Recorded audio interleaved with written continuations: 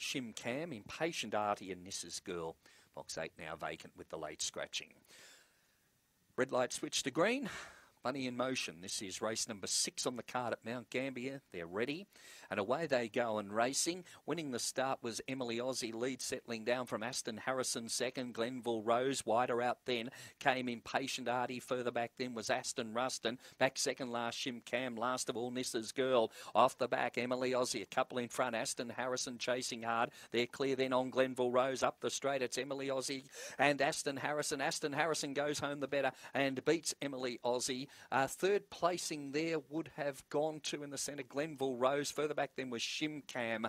Uh, further back then to pull up was Nissa's Girl back in the bunch with uh, Impatient Artie. It was one of the last in. 23 seconds of the time here. And number two, Aston Harrison is the winner from uh, number four, Emily Aussie. And uh, third placing goes to three Glenville Rose. Two, four, three. Race time there of 23.07 and 5. Shimcam wound up fourth. So it's 2.435, 23.07 the time recorded by number two, Aston Harrison, scoring by a length with three and a quarter lengths between second and third.